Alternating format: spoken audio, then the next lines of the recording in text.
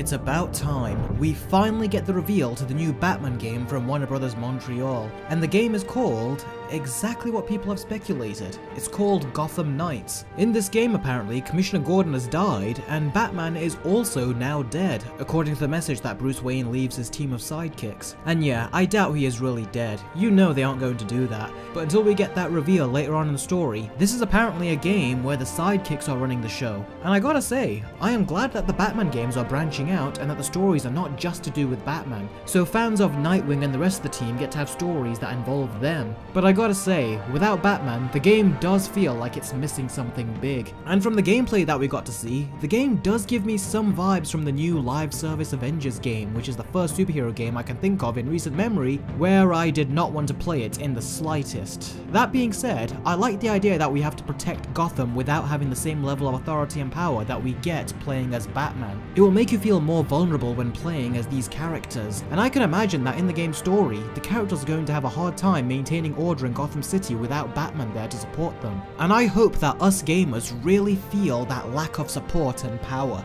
It can make for great storytelling and great dynamics and character development between what are essentially Batman's children, and it can provide a different gameplay experience. So, what did I think of the actual gameplay that was on display?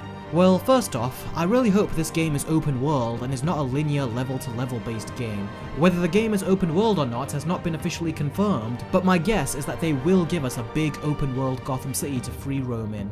And as for the gameplay itself, something I noticed about it is that it seems to be a soft reboot of the Arkham games. It has a very different gameplay presentation whilst keeping the core of the gameplay from the Arkham games intact. By that, I mean that you get the combat system, you get the stealth predator system, and you even have the grapples and gliding system. And I like how even though the game is clearly not taking place in the same world as the Arkham games, it does keep a lot of the same gameplay mechanics, so I am glad that they are doing that. And it's worth pointing that out. This game does not take place in the continuity of the Arkham series, and seems to be taking place in a completely different world. So all that I like.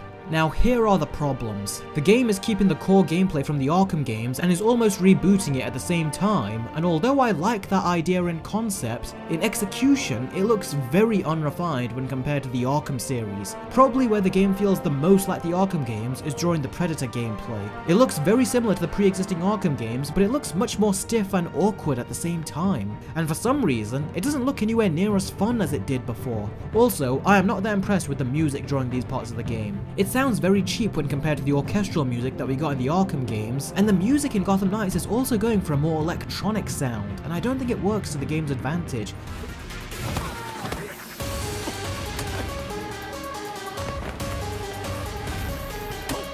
It's different, and I appreciate that they're trying to go for a different approach, but it just makes it come off as cheap in comparison to the previous Batman games, when in actuality, it should feel more expensive and new than the previous games. But no, the previous games feel more new, and this game feels more dated strangely. So as you can tell, I am not entirely convinced that they managed to pull off this idea of combining the old with the new. The game clearly still needs a lot of work, and I think what it really needs is fluidity, because the game looks very stiff right now, whereas the Arkham games from their inception have always been fluid and refined. This just looks very restrictive. I also hope that they get rid of the number points when you attack the thugs. I never liked numbers showing up when you're attacking enemies as a kid, and I still don't like it when I'm an adult. It takes away from the cinematic look of the action sequences, and it makes it feel less like you're watching a realistic action scene. And the graphics are also very hit and miss for me. They look great in parts, but again, they look very stiff and unrefined in others. It really is a mixed bag for me. So the game looks okay, but it does not look great.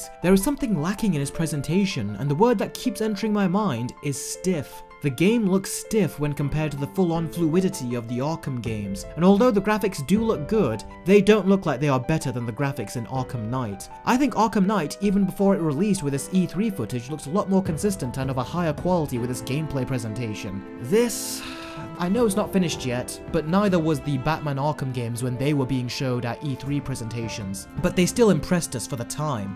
This is not really impressing me, it still feels like it needs a lot of work. Also, the Court of Owls that has been rumoured and hinted at for this game for as long as I can remember is in fact in this game. I have the comic book, but I still haven't read it yet, so I'm looking forward to reading it and seeing it unfold in the game. So yeah, comment below and let me know what you thought of the reveal of Gotham Knights. I personally am very happy that we finally got to see this damn game after all the annoying teasing, but I'm disappointed with the look that we got. The game needs a lot of work, and I wouldn't be surprised if the game got delayed. It is set to be released in 2021, and I am positive that it is going to get delayed. So yeah, comment below and let me know what you thought, and stay tuned for my other coverage of the DC fandom event. Thank you very much for watching guys, please click that thumbs up button if you haven't already, and also click that subscribe button so you can stay up to date for all my future videos, and also feel free to donate to me on Patreon, even if it's just $1, it really does help support the channel. Thanks again for watching guys, and I will catch all of you very soon.